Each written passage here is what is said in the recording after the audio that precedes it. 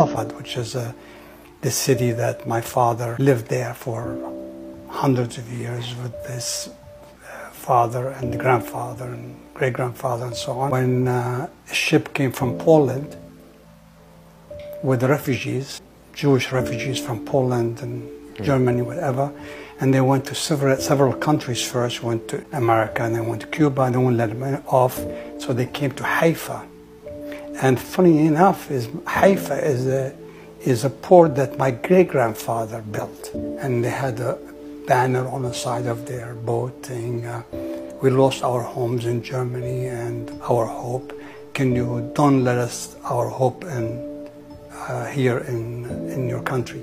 So and they took them. They took two families. Each took two families, and others did, and they brought them to our house, to my father's house.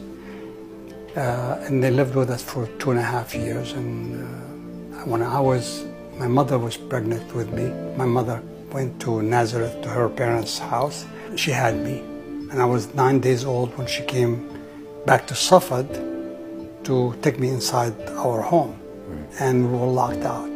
The fact I came back home and they wouldn't even let us in into our home when my mother begged them to to get a sharshaf or a something to put around me.